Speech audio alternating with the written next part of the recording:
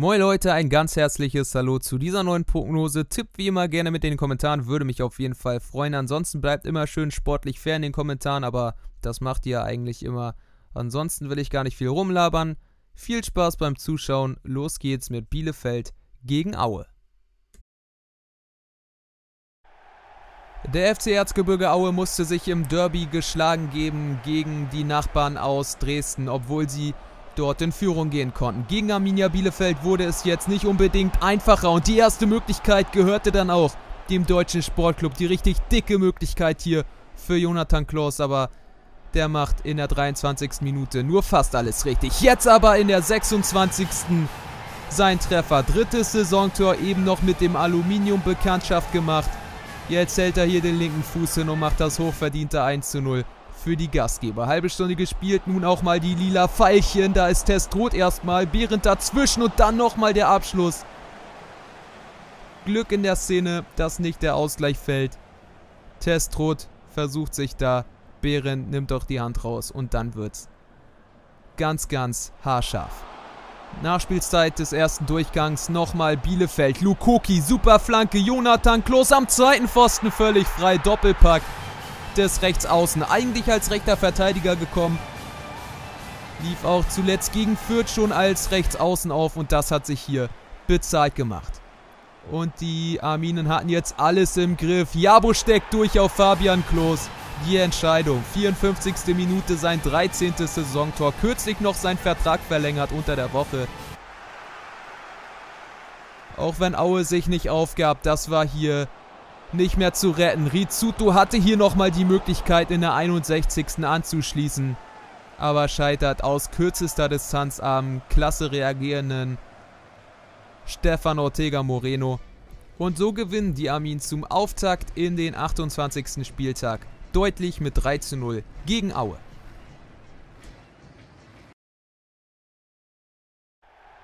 Regensburg empfing am Freitagabend den VfL Bochum. Eine Mittelfeldpartie, die aber gar nicht mal so uninteressant ist, denn spielerisch haben beide Teams durchaus etwas drauf. VfL Bochum mit dem besseren Beginn, Pantovic mit der Flanke und Lukas Hinterseher mit dem Kopfball. Nach neun Spielminuten war es aber noch nicht so richtig gefährlich. Die Bochumer trotzen dem HSV ein 0 zu 0 ab. Am Ende hätte es sogar Strafstoß geben können, aber diskutable Szene. Am Ende war es 0 zu 0. Durchaus trotzdem respektabel. Zweiter Versuch jetzt von Bochum nach vorne und in der 39. Minute stand es dann auch verdientermaßen 1 zu 0. Tom Weiland nickt das Ding ein. Jetzt aber auch gut gespielt von Regensburg. Grüttner. Marco Grüttner läuft da allen davon. Das ist zu einfach. 1 zu 1. Die Gastgeber waren wieder zurück. Perfekt vom Pausenpfiff stiegen sie mit dem Treffer dann ein. Aber nach dem Pausenpfiff Bochum wieder stärker. Losia nach außen gelegt. Weiland diesmal mit der Flanke. Hinterseher mit dem Kopfball. Und jetzt war es der perfekte Start für den VfL in den zweiten Abschnitt. Und sie drückten weiter, aber auch Regensburg mit offensiven Akzenten. Das 2 zu 2 auf jeden Fall denkbar. Jan George über die rechte Seite bringt die Flanke. Der Kopfball von Grüttner ist brandgefährlich aber ohne Ertrag. Im Hinspiel hatte Regensburg in der allerletzten Minute zum 3 zu 3 ausgleichen können. Aber sie kam heute nicht mehr ran. Der VfL machte das 3 zu 1 in Person von Robert Tesche und damit auch die Entscheidung klar. Regensburg schlägt sich gut, muss sich aber gegen bärenstarke Bochumer geschlagen geben. Holstein Kiel musste sich Kölnern mit 4 zu 0 geschlagen geben, aber der FC St. Pauli strotzt auch nicht unbedingt vor Selbstvertrauen und das sah man hier von Beginn an. Mühling erobert den Ball, Lee bekommt den Ball, Mühling haut dann drauf und Robin Himmelmann muss eingreifen. Starke Parade des Schlussmanns der Braun-Weißen, aber es läuft aktuell überhaupt nicht bei der Elf von Markus Kauczynski. Glück in der Szene das ist nicht. 1 zu 0 für die Störche stand. Der anschließende Eckstoß von der rechten Seite kurz ausgeführt. Okugawa mit der Flanke und Lee um ein Haar mit der Führung. Der Druck wurde jetzt ins Unermessliche gesteigert. Der Treffer wollte aber einfach noch nicht her. Zweiter Durchgang, gleiches Bild. Von St. Pauli nach vorne nicht zu sehen. Lee, Benesch, genialer Ball auf Okugawa und dann das folgerichtige 1 zu 0. 62. Spielminute, das dritte Saisontor für den Leihspieler aus Salzburg. Top gemacht. Der FC St. Pauli kam dann 10 Minuten vor dem Ende endlich auch mal zu einer Möglichkeit. Ersin C hier mit dem Kopfballversuch. Und das war tatsächlich die beste Chance der Braun-Weißen in der gesamten Partie. Ein hochverdienter Sieg nach 90 Minuten für Kiel, der mit dem 1 zu 0 noch schmeichelhaft für den FC St. Pauli zu Ende geht. Und die Gäste müssen sich für die Schlussphase der Saison nochmal so richtig was einfallen lassen.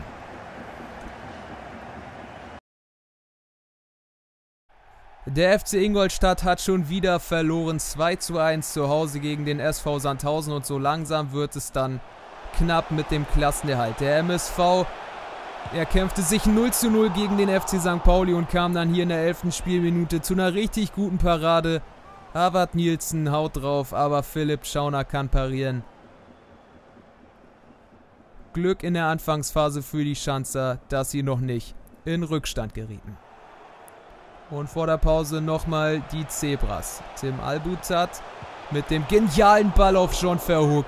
Und Philipp Schauner kann wieder mal parieren. Du parieren. Duell der Ex-St. Paulianer. Klasse Tat einfach von Schauner. Nach dem Wiederanpfiff jetzt die Gäste etwas stärker. Sonny Kittel und Lescano mit dem 1 zu 0. Fünftes Saisontor wie aus dem Nichts die Führung für die Gäste. Absolut unverdient, aber wen kümmert's? Das sind hier ganz wichtige, essentielle Spiele und die Duisburger kamen jetzt erstmal nicht mehr nach vorne. Hoher Druck von den Gästen. Almok Cohen schießt drauf, aber jetzt konnte sich auch mal Felix Wiedwald auszeichnen. Wir springen schon in die Schlussphase. Eine Niederlage für den MSV wäre extrem schmerzhaft und darf man sich eigentlich nicht erlauben. Oliveira Sosa mit der Flanke und dann am zweiten Pfosten Nielsen, aber zu harmlos. Schauner hält damit den Ball und den Sieg fest für die Gäste aus Ingolstadt und für den MSV Duisburg heißt es jetzt Tabellenplatz 18. Der SC Paderborn startete richtig gut in diese Partie. Kevin Behrens machte in der 13. Spielminute das 1 zu 0 gegen den Sportclub aus Paderborn. Die konnten Union Berlin bezwingen. An der alten Försterei gewannen sie mit 3 zu 1 hier. Erzielte Kevin Behrens aber einen Doppelpack. 40. Minute 2 zu 0. Das war doch dann schon relativ überraschend, auch wenn Sandhausen in den letzten Wochen durchaus aufzudrehen weiß. Clement brachte die Gäste in der 54. Spielminute dann wieder ran schön ausgespielt, denn die Elf von Steffen Baumgart hat sicherlich nicht das Problem, fußballerisch gute Spielszenen in der Offensive zu entwickeln. So folgerichtig dann auch das 2 zu 2 in der 68. Spielminute. Jetzt kam von den Sandhäuser gar nicht mehr. Sie wollten sich in Richtung der Ziellinie zittern, vielleicht diesen Punkt dann noch mitnehmen, aber Sebastian Schonlau machte ihnen in der 81. Minute einen Strich durch die Rechnung. One-Touch-Fußball à la Bonheur der Gäste aus Ostwestfalen und damit ein ganz, ganz verdienter Sieg für Paderborn. Sie gewinnen mit 3 zu 2 und bleiben damit an Union Berlin dran. Der erste FC Köln hat es mal wieder getan und die Rhein-Energie-Stadion-Besucher zum Verzücken gebracht. 4 zu 0 gegen den KSV von der Kieler Förde. Und hier hatten sie auch die erste Möglichkeit gegen Heidenheim. Mit müden Pokalbeinen liefen sie hier auf, die Gastgeber, und waren froh, hier nicht schon in Rückstand zu geraten. Doch die Geißböcke blieben dran. Geis auf Cordoba, 11. Minute 1-0. Hochverdiente Führung für die Gäste. 14. Saisontor für Jean Cordoba. Und keine Chance für Kevin Müller zur Parade. Im zweiten Durchgang dann fast gar nichts los. Der Erster FC Köln ruhte sich auf dem 1 zu 0 aus, kam jetzt erst kurz vor Schluss wieder und Heidenheim merkte man die Partie eben weiterhin an, die sie unter der Woche noch bestreiten mussten. Mainka verhindert hier Schlimmeres und das war eben nicht das 2 zu 0. Nachspielzeit nochmal der erste FC Köln. Sie spielten es weiterhin souverän runter. Die großen Möglichkeiten blieben aus, deswegen hier auch gar nicht so viel zu zeigen, aber eben im Stile einer Spitzenmannschaft Terodde direkt in die Arme von Kevin Müller. Am Ende bleibt es beim 0 zu 1. Verdienter Sieg für die Kölner, nicht schön, nicht sonderlich spektakulär, aber effektiv und so ziehen sie hier aus der Voigt Arena erfolgreich von dannen. Nach dem mäßigen 0 zu 0 gegen Greuther Fürth ist Dynamo Dresden nach Donnerstag immer noch ungeschlagen unter Christian Fjell. Jetzt kam der erste FC Union Berlin, der zuletzt die erste Heimpleite in Kauf nehmen musste. Gegen Paderborn verloren sie mit sage und schreibe 1 zu 3. Die erste Möglichkeit gehörte hier den Schwarz-Gelben. Sechste Spielminute. Gikiewicz aber noch kein Problem mit diesem Distanzschuss. Schuss. Nun auch mal die Gäste. Mané mit der Flanke. Wahlquist erstmal dazwischen. Köpft das Ding raus. Aber noch nicht endgültig geklärt. Lenz auf der linken Verteidigungsposition bedient dann Abdullahi in der 19. Spielminute dann. Bis dato die beste Möglichkeit von Eisern Union. Aber Dynamo Dresden mindestens auf Augenhöhe und nun wieder nach vorne. Löwe mit der Übersicht. Schöner Ball. Wahlquist und dann Barisartig Klasse Tor. 44. Spielminute, sein viertes Saisontor. Wunderschön macht er das da. Heute in der Startelf für den verletzten Janis Burnic. Zweiter Durchgang beginnt mit Eckstoß für die Dynamos von der rechten Seite. Von Dumic verlängert. Ayas Ausmann drückt ihn dann über die Linie. Viertes Saisontor auch für ihn. Und jetzt wird es für Eisern Union richtig schwer. Nicht schon wieder verlieren, das kann man sich aktuell nicht erlauben. Ansonsten sind der HSV und der 1. FC Köln komplett von dannen gezogen. Hier hatten sie dann die Chance in der 64. anzuschließen, aber Mané läuft etwas zu früh los. Sehen wir dann in der Wiederholung steht knapp mit dem Knie im Abseits. Schlussphase und diese zwei Tore waren kaum noch aufzuholen. Jetzt müsste der Anschluss her. Sebastian Andersson haut nochmal drauf, aber Schubert war auch nicht zu überwinden. Abdullahi versucht es dann nochmal mit der Flanke. Auch das wurde nichts mehr. Dynamo Dresden gewinnt am Ende mit 2 zu 0 und das durchaus verdient. Macht hier eine richtig gute Partie und Fjell bleibt damit ungeschlagen. Kräuter Fürth musste gegen Darmstadt in der 60. Spielminute das 0 zu 1 hinnehmen. Joven Jones steht am zweiten Pfosten relativ blank. In der Mitte wird es noch mit dem Klärungsversuch probiert, aber das wurde nichts. 63. Minute, also nur drei Minuten später dann der Ausgleich. Daniel Cater Ruel macht das ganz schön nach guter Vorlage. Haut er den Ball ins linke Eck rein, aber das dauerte dann auch nur wieder sechs Minuten bis zum nächsten Tor. Serdar Dursun in der 69. Minute abermals mit der Führung für die Lilien, die dann zum Schluss noch in der 90. Minute einen draufsetzen konnten. Yannick Stark mit dem 3 zu 1, klar, das war dann auch die Entscheidung. Nickt das Ding ein und damit gewinnt Darmstadt unter Gramozis auswärts. Holt die nächsten drei Punkte und Kräuter Fürth muss eventuell nochmal nach unten schauen. Der Hamburger Sportverein spielt ja gefühlt zu Hause immer am Montagabend. Jetzt war der erste FC Magdeburg zu Gast und Orel Mangala konnte ein fantastisches Tor zum 1 zu 0 erzielen. Das machte er hier dann auch ohne größere Probleme. Aber der erste FC Magdeburg kam dann nochmal zurück. In der 57. Minute war es Philipp Türpitz mit dem Ausgleichstreffer. Dabei blieb es dann auch am Ende eine unterhaltsame Partie am Montagabend. Und der erste FC Magdeburg erkämpft sich in dem Abstiegskampf, der so brennend heiß noch wird zum Ende. Einen wichtigen Punkt.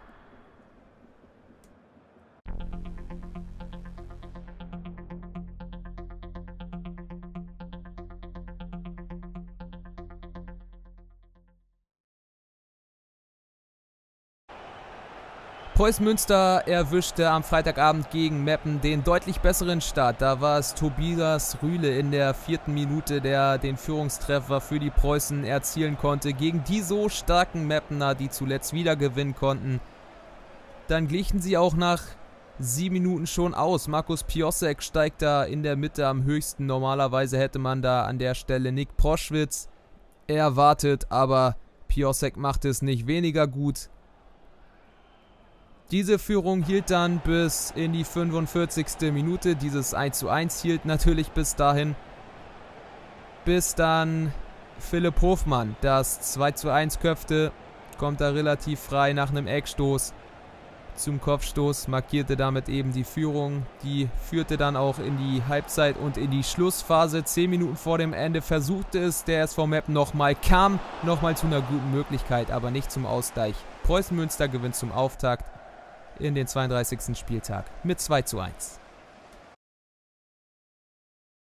Der erste FC Kaiserslautern hatte die Gäste aus VfR Aalen im Fritz-Walter-Stadion gegen sich, hatten die bessere Anfangsphase, mussten dann aber in der 23. Spielminute das 0 zu 1 durch Nikola Sessa hinnehmen. Gegen den Tabellenletzten war das nicht unbedingt das, was man sich hier erhofft hatte. In den letzten Wochen ein klarer Aufwärtstrend bei den Lauterern und dann auch mal Effektivität, aber die ließen sie hier heute leider vermissen und so verlieren sie gegen den VfR ein. Extrem unglücklich mit 0 zu 1. Bei Oerding läuft es aktuell nicht, trotzdem konnten sie in der 33. Spielminute das 1 zu 0 erzielen. Adam Matuschik mit dem Lupfer aus knapp 18 Metern macht er richtig stark, da sieht aber Kroll nicht wirklich gut aus. Auf der Linie ist es dann Blomeyer, der am Ball vorbeispringt. Sascha Hertel konnte in der 53. Minute für Lotte dann ausgleichen. Das war stark gespielt, einmal schön rübergelegt am zweiten Pfosten. Muss Hertel dann eben nur noch den Fuß hinhalten und zum Ausgleich einschieben. Sie drehten die Partie innerhalb kürzester Zeit. Maximilian Österhellwig in der 57. mit dem 2 zu 1 für die Gastgeber. Lester Benz keine Chance aus kurzer Distanz wuchtig rein ins linke Eck. Kurz vor Schluss aber dann der Ausgleich. Eckstoß von der rechten Seite. Adriano Grimaldi köpft das Ding ein. Auf der Linie ist dann Langlitz noch da, kommt aber nicht mehr entscheidend gegen den Ball an. Ärgerlich für Lotte, doch das war noch nicht das Ende des Liedes. Sie kam in der 90. Minute tatsächlich doch noch zum Siegtreffer. Jonas Hoffmann wird gut bedient. Und lupft den Ball dann halb hoch rein. 3 zu 2 gewinnt Lotte und die Krise bei den Krefeldern geht nach wie vor in die nächste Runde. Der Hallische FC empfing im Erdgas Sportpark die Würzburger Kickers und das ist noch durchaus interessant im Kampf um den Aufstieg, auch für die Gäste aus Würzburg. Ein Sieg würde sie auf drei Punkte ranbringen an die Hallenser. Die Gäste hatten dann hier auch in Person von Breitkreuz die erste Möglichkeit. Über eine halbe Stunde gespielt, nun backen sich auch die Gastgeber aus der Deckung. Wunderbare Flanke an den zweiten Pfosten, da ist Tuma dann mit dem Kopf. Aber trifft dann nur das Außennetz. Nochmal Halle im ersten Durchgang. Arkenberg, Pony-Chef steckt durch zu Bentley Baxter Bahn. Und Bettke muss sich nochmal auszeichnen. Kann sogar stehen bleiben. Bahn hat normalerweise die Qualität, den noch besser zu platzieren. Der Winkel ist einfach nicht optimal. Jetzt Fehler im Spiel nach vorne. Baumann dazwischen legt rüber, legt zu Breitkreuz. Der mit dem vermeintlichen 1 zu 0, aber wir sehen es gleich in der Wiederholung. Das war eine Abseitssituation. Knapp, aber wohl in Ordnung. Die Fußspitze soll es gewesen sein. Keine halbe Stunde mehr zu spielen. Nochmal die Gäste. Die wurden im zweiten Durchgang immer stärker. Und jetzt war auch der Treffer da und jetzt zählte er. Dave Gnase, 64. Minute, sein fünftes Saisontor. Super auch gespielt in der Szene. Und jetzt konnten sie nach vorne mehr Räume bekommen und diese nutzen sie auch. 78. Dave Gnase Doppelpack, der machte hier mit seinem sechsten Saisontor alles klar. Dieses Spitzenspiel gewinnt der Gast aus Würzburg mit 2 zu 0 und der Hallische FC verliert damit etwas mehr an Luft im Kampf um den Aufstieg.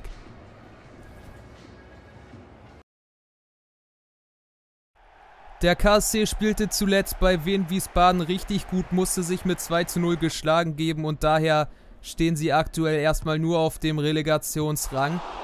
Gegen Unterhaching im Spitzenspiel sollte es nun erfolgreicher verlaufen, aber die bessere Anfangsphase und die erste Möglichkeit hatten die Gäste aus Unterhaching nach neun Spielminuten. War es dann aber noch nicht richtig gefährlich, weil Anton Fink dazwischen war. Nun auch der KSC. Wanizek bekommt den Ball von Pourier, der legt raus und Manuel Stiefler mit dem 1 zu 0 in der 20. Minute. Sein drittes Saisontor.